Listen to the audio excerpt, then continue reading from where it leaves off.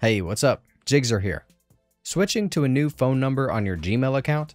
In this video, I'll show you how you can easily update the phone number associated with your Gmail account on your mobile device. Let's go. Having a phone number on your Gmail or Google account helps in two ways. First, it lets you quickly recover your account if you forget your password and don't have another way to get back in. Second, you can use your phone number to log in making it more secure. To update your number, open the Gmail app on your phone. This both works in iOS and Android devices. At the top right, tap your profile picture or initials, and then manage your Google account.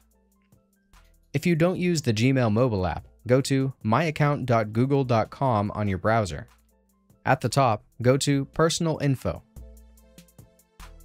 Under Contact Info, tap Phone and then your phone number. From here, you can edit or delete your phone number. Select the pen button and tap on Update Number. Add your number, and then Done to confirm the changes. To make sure that the number you've entered is yours, Google will then send a verification code. Tap Get Code below to receive it via SMS to verify your phone number.